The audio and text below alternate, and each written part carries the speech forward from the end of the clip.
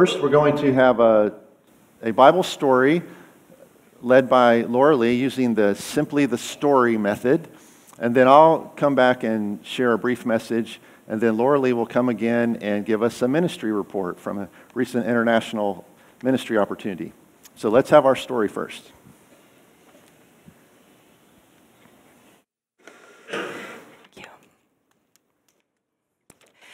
So I've asked these four brave souls to help me with this. Um, due to the, to the time that I have available. Um, if I had longer, you all would be helping me. So you can thank them later. so before we um, take a look at God's Word and dig into it, let's, let's talk to God. Father God, I just thank you for this opportunity uh, that we have to look into your Word. Father, I pray that you would open our hearts and our minds to the truth that you have for us um, in this story. In your Son's name, amen. So, before I start with the story, um, God had created a perfect world. And through disobedience to God, sin, people ruined that perfect world. In the time of this story, most of the people have forgotten the Lord and they're living as pagans, worshiping idols, worshiping the sun and the moon and the stars. And Abram, who is in our story, was born and raised and living in a pagan country. His wife Sarai is barren. She's not able to have children. Uh, Lot is mentioned in this story, and he is Abram's nephew. And this story takes place before God changes Abram's name to Abraham. And this story is part of God's unfolding plan to deal with that sin and disobedience that's in the world. And that's where our story will start. Now, the Lord said to Abram, Get out of your country from your family and from your father's house, and go to a land that I will show you. And I will make you a great nation. And I will bless you, and I will make your name great, and you shall be a blessing. I will bless those who bless you, and I will curse those who curse you. And in you, all of the families of the earth will be blessed. So Abraham, Abram left as the Lord had said to him, and Lot went with him. Abram was 75 years old when he left Haran. And that's the end of the story. So now I'm wondering if you will help me with the story. Let's go through it one more time and, and you guys help me. So the Lord said to Abram, Get out, yeah, get out of your country. country and from your family and whose house? Your father's house, right. And where was Abram supposed to go? To a land? Right, that God had picked, that God was going to show him. Yeah, it was unknown at the time, right. And God was going to make Abram what kind of a nation? A great nation, and he was going to bless him and do what to his name? Make it great. You can use the microphone too. You got to hold it close to your mouth with that one. Um, and Abram would be a blessing. And what was God going to do to the people that blessed Abram? Them. Yeah, and to the ones that cursed Abram? Right. And so Abram then said, This is too crazy of a plan. There's no way I'm doing this. No? Abram left, according to what the Lord had said. And Lot went with him. And do you remember how old Abram was? 75. 75 when he left Haran. Nice job. Thank you, guys. So, Abram is 75 years old, and God has told him to get out of his country, from his family and his father's house, and go to a land that God will show him. I'm wondering what might it have felt like to be Abram at this age and stage in his life? To be told to do these things. He probably was somewhat afraid. What do you think would make him afraid? What, Going to another place that he didn't know okay, anybody or anything. yeah, you don't know anyone. It was unknown. What what does he even take with him? Or he has to take everything with him. Yeah. Be, be, I would think there'd be some fear, just that unknown, leaving everything that's secure to you safe. Ask why? I would if he uh, why should I do this? Yeah. So, what might we learn about the Lord that he told Abram to leave his country and his family? You know, we know from the intro that it's a pagan country. Um, what, what might we learn about the Lord that, that he's telling him to do these things, get away from these things? Well, that Lord wanted to get him away from the influence of his present surroundings. Okay. Is there anything else the Lord could have could have done there, could have said to him? Well, he could have told him to stay and go out and preach his word. Could have. True. Yeah. So he says, you know, go to the land that I will show you. How's Abram going to find that land? What's, what's he going to have to do to, to know where this is? He's going to have to trust God.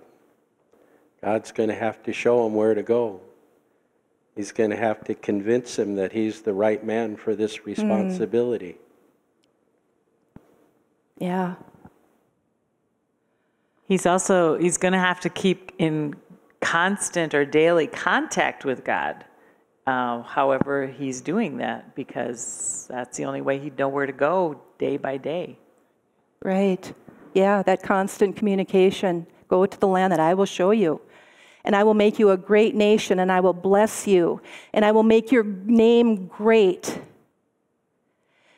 What might we learn about the Lord that he says those things to Abram when his wife can't have children?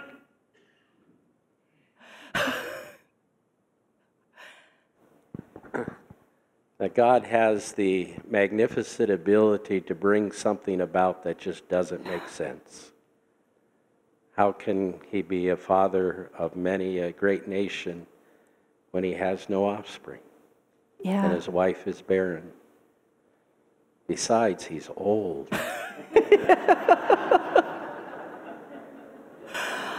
Yeah.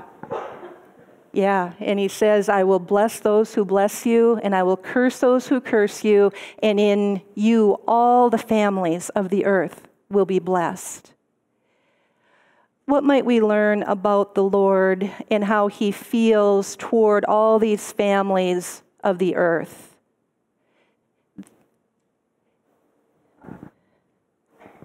Well, that the Lord is omnipresent and omnipotent. He knows the end result already. It's just convincing Abram that this is the direction to go to fulfill God's purpose, which he already knows.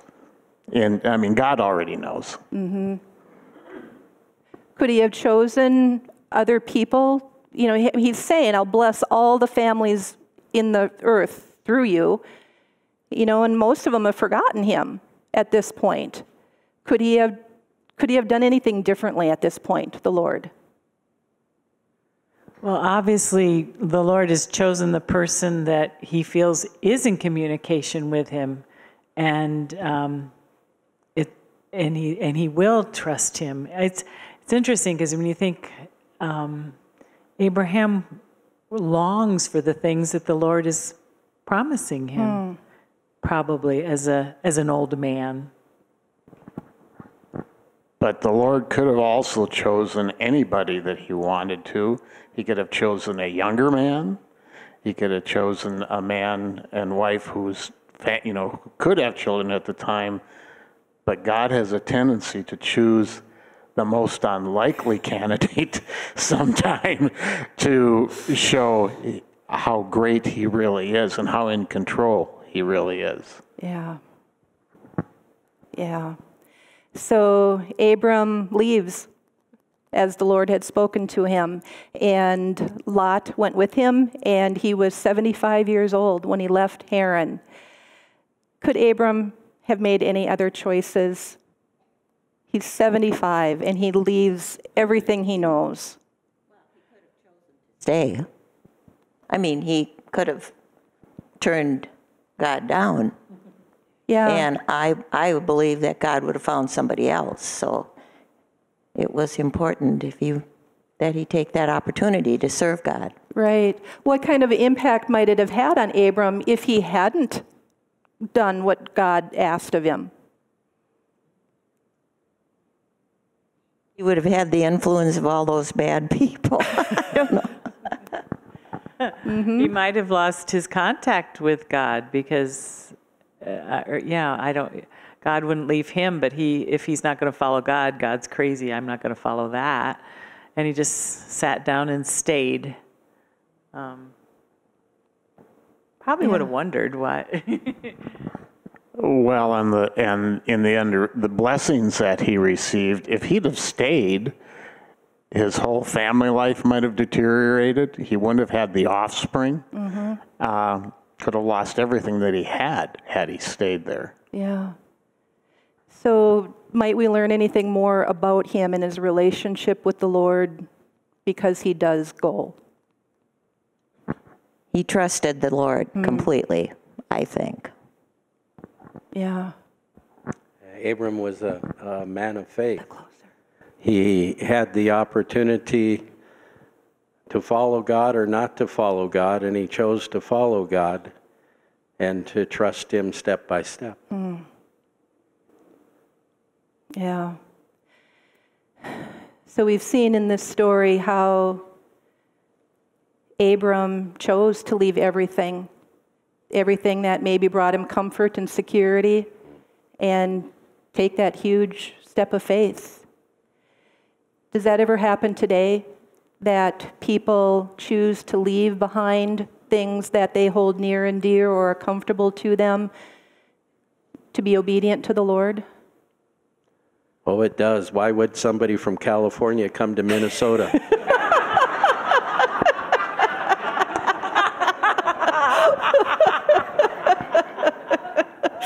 Yeah.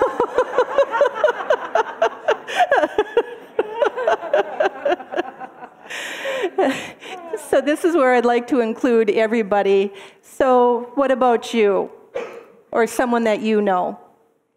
Have you chosen to leave things behind that have been sources of security for you or comfort to take a step of obedience to the Lord?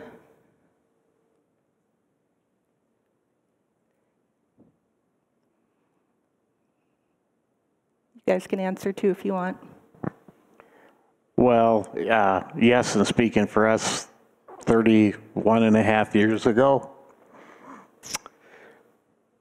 we chose to leave a practice where I was the owner of the veterinary clinic we were at uh, because we couldn't see raising our kids there. And we actually asked for a sign from God that we were supposed to move up here. And he did very powerfully to us. And ha- can I ask, have you seen blessings in? Well, other than being asked to be on the deacon board a number of times, uh, there's been a lot of blessings in the time we. No, that has too. This ended up being the perfect place to raise our family, and and the integral part of uh, Faithbridge uh, and the fellowship here. Um, yeah, we wouldn't have had if we'd have. I won't call it a pagan land we moved from, but uh, but yeah, I can't see that uh, that we that God would have had the impact on us down there that He did up here. Cool. So, one final question that we'll just leave open ended. So, is there anything in this story that could help you in the future? If God asks you to leave something behind or give something up, or maybe go to a different land? Is there something in the story that could help you in the future to be completely obedient to the Lord as Abram was? Let's close in prayer. Father God, I just thank you for this story and this amazing testimony of Abram, who at 75 years old was so willing to obey you. Father, thank you for the challenge that that brings to us, but also the encouragement as we see your goodness and your faithfulness. Father, just work in our hearts and our lives that we would choose to have that same commitment and obedience. In your son's name, amen. Thank you, guys. So they had no idea what questions I was going to ask. They were very willing to be, to be brave and come up here. I appreciate it. Thank you, guys.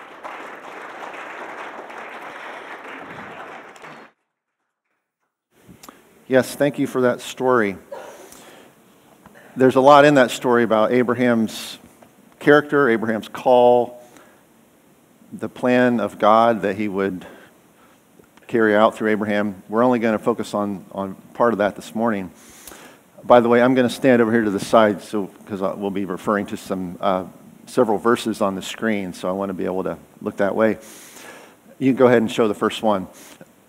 A minute ago, we sang a song called Song for the Nations, and it struck me singing those lines May we be a shining light to the nations till the whole world sees the glory of your name. I thought, wow, that is really good New Testament theology there. The Great Commission.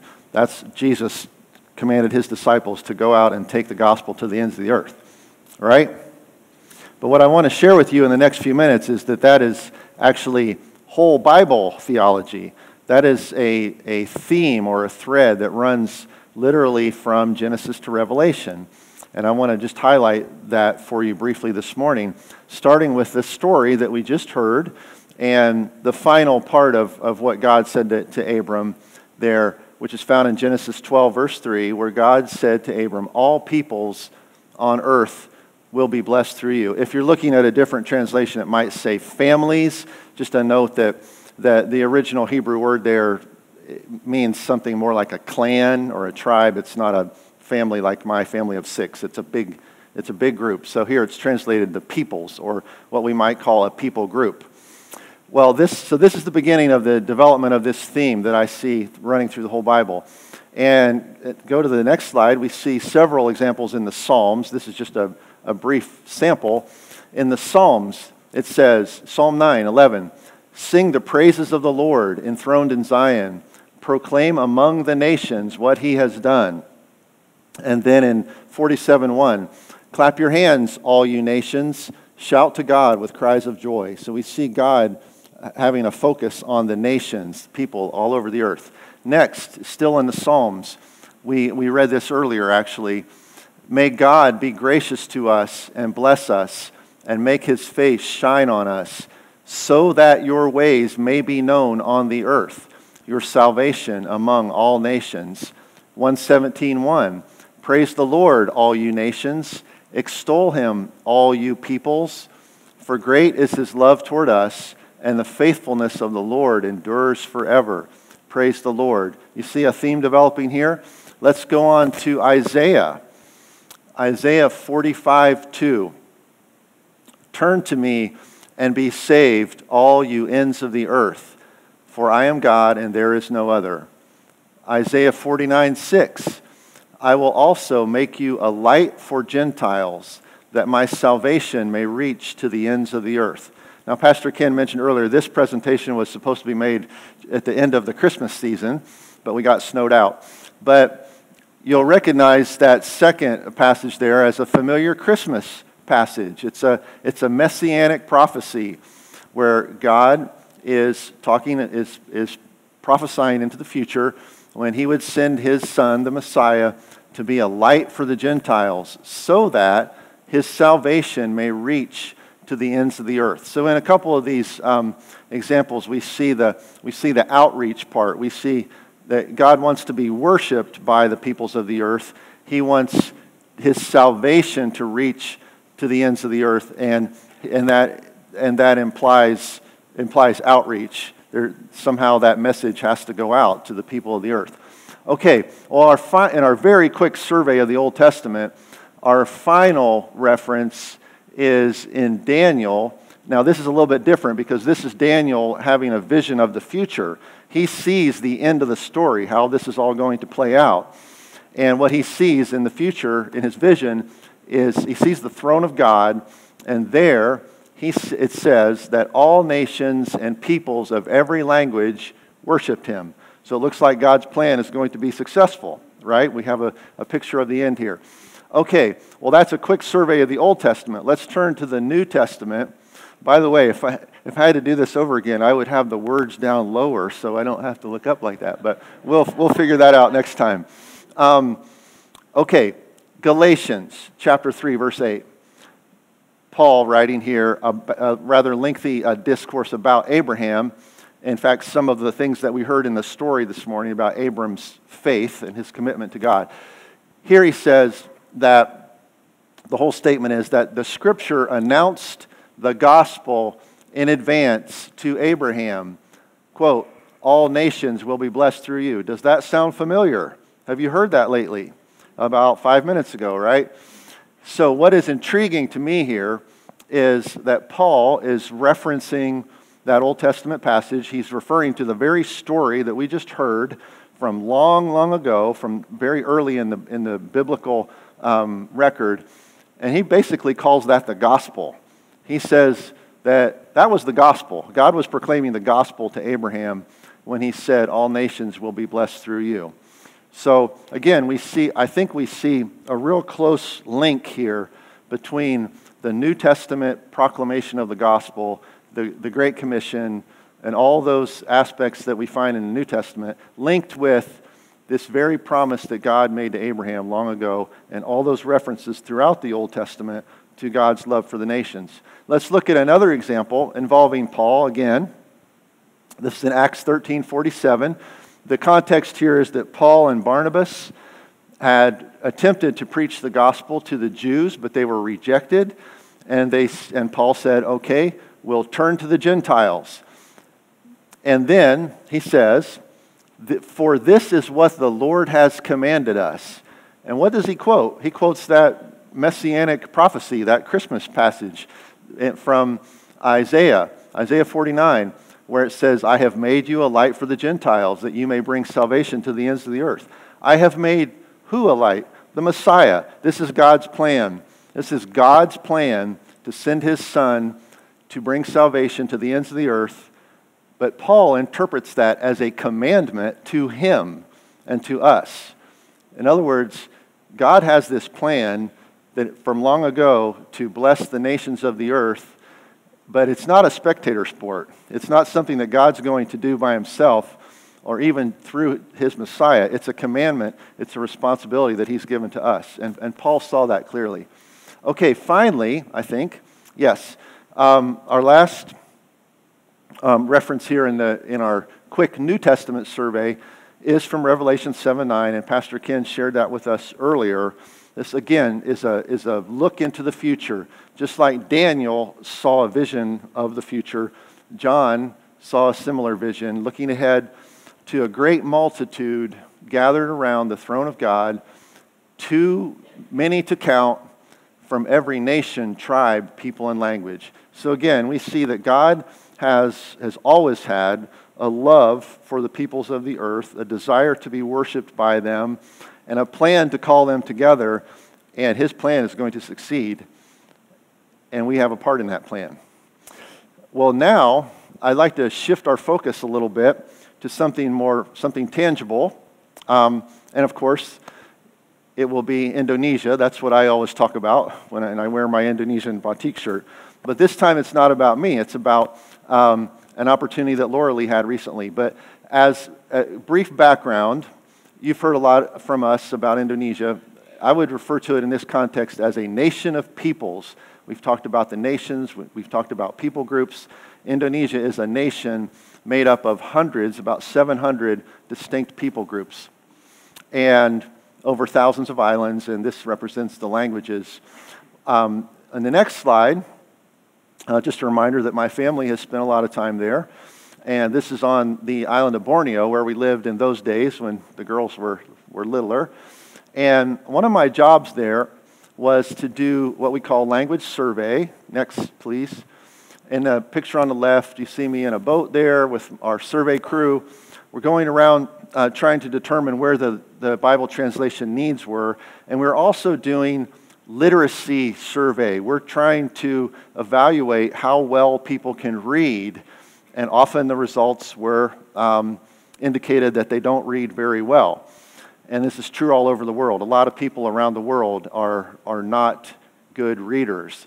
So the picture on the right, which is actually from a different place, it shows how happy people are when they get the Bible in their language. And of course, that is a wonderful thing, and we celebrate that. But we recognize that behind the smiles, um, there are many people who actually can't read it or can't read it well, and they need to be reached in other ways. So we talk a lot these days about oral, oral methods of communicating the gospel and communicating Bible truth to people. And one of those, one of the methods that's commonly used is the simply the story method that we heard that was demonstrated for us earlier. And recently, in October, I believe, Laura Lee had the opportunity to go to Indonesia to help train people in this method. And the next slide, you see the arrow indicates the small island of Rote where she went to uh, lead this workshop, and she's now going to tell us about that.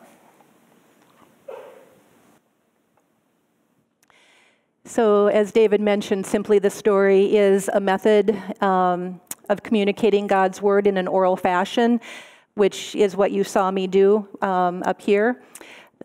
This is the method that I go and teach people how to do this process of Bible storytelling in the workshops where I'm an instructor.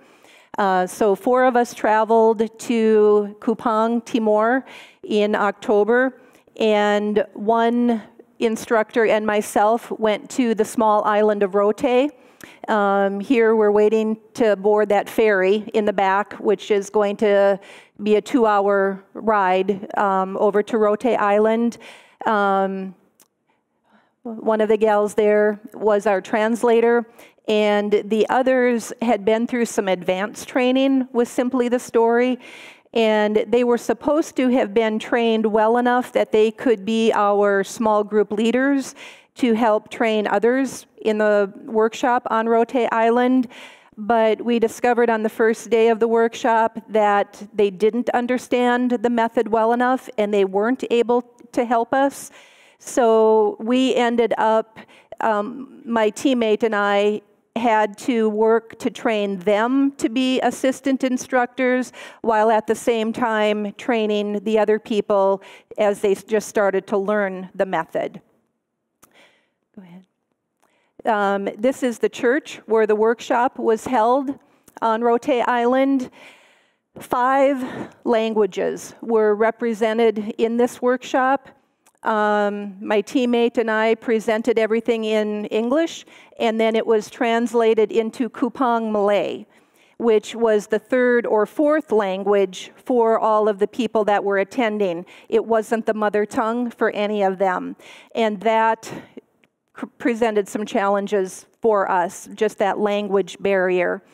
Um, it, I wrote in my journal on the third day of the workshop, I have moments in the workshop where I think they're understanding the STS method, and then a train wreck happens. and I wrote that more than once.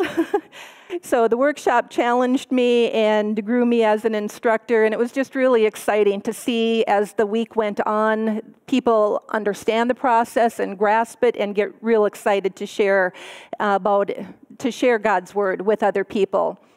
The woman that's standing here in this picture um, originally came to the workshop just to see what the people in her mission organization were learning.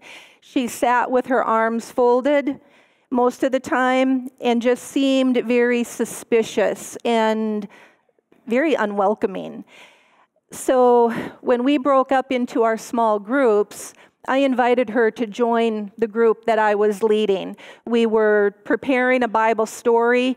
Um, that one of the one of the members in the group then would go and present um, and receive coaching on. And when she joined the group, again, she just sat there and wouldn't say anything. But as our discussion of the story went on, slowly her arms relaxed, and it wasn't long, and she started joining in the discussion with us. And a day or so later, I asked if she would have interest in presenting a Bible story to one of the groups, and she quickly said yes. She really enjoyed the method, and it was just fun to see how her demeanor changed through the time. This is one of the groups practicing. Um, the woman standing up is presenting a story like what you saw me do up here. Um, this, this practice time is invaluable in the workshops. They learn a, learn a Bible story and then get to present it, and then afterwards they receive coaching on what did they do well as a storyteller and what's one thing that they could do to be even better the next time they tell a story. What would you do if you were standing in line at a grocery store or coffee shop or Walmart and you got into a conversation with the person that you didn't know in front of you and you only had five minutes? Could you, could you share a Bible story in that amount of time? In the workshop, we train people how to do that. If you only have five minutes with somebody, how can you do a Bible story? And so this is where they're practicing. Um, the one row is given a scenario. Um, say they're at Caribou standing in line and they get into a conversation with the person in the other row who's a complete stranger. We give them one or two minutes to get the conversation started and then five minutes to do a Bible story with that person. And so this is a, a picture of them practicing that and that is the group from Rote Island. Um, the men that had been part of the workshop had had to leave already for other responsibilities by the time this picture was taken, which is why it's predominantly women in here. Um, but it was a, a great, great group. One woman had left the workshop early on Thursday afternoon. Um, she had a children's ministry that she needed to go and take care of. And she told me later when she came back that she had told the Bible story that she had learned um, and had presented during the workshop. And the children were so excited. They asked for more stories. Um, on Rote Island, and I think, well, I, I would guess throughout Indonesia, I know this was true in Haiti where I've been they, the children are not taught in school how to think critically and how to think for themselves. It's rote memorization of everything. And so the simply the story process, as you can see, you have to think about it. You have to think about what other choices could characters in the story do. And so the children just really loved that they were able to to think and it wasn't just rote answers that were being looked for. And this woman happened to be married to the headmaster at the school, and she would go home in the evenings and tell him about what she was learning in the workshop and some of the questions that we would use to get discussion of the story going. And he became so excited about that. He is now incorporating many of those same questions into the school atmosphere. Um, if a child gets into trouble, you know, what other choice could you have made? What can we learn because you did make this choice? So it's fun to see the impact that simply the story had, not in a venue that we were really expecting, but it's, it's having an impact over there. Um, this was the first ever STS workshop held on Rote Island. In a small way, I can relate to Abram God had made it very clear to me that I was supposed to go on this trip. Although there were some things going on personally that made it very, very difficult for me to leave. Um, on the last day of the workshop, I journaled, I walked through this open door that God gave me and truly was blessed. What an honor to have been the first instructor to do an STS workshop on Rote Island. It's hard to say goodbye. Amazing how bonds form without a common language, and the Lord is at the center of it all. So may He receive all the glory and praise for what's going on over there. Thank you, Laura Lee, for sharing that and for your willingness to go on that and follow God in that um, outreach. Let's, let's close this part of our service in prayer. Heavenly Father, thank you for the opportunity to hear your word proclaimed this morning, a story from long ago that reveals your heart for the nations. And thank you for the opportunities that we have had as, as a church to be involved in ministry around the world over the years. And we thank you for your love for us, and we praise you for you are indeed worthy to be worshiped by all people everywhere. And we pray these things in Jesus' name. Amen.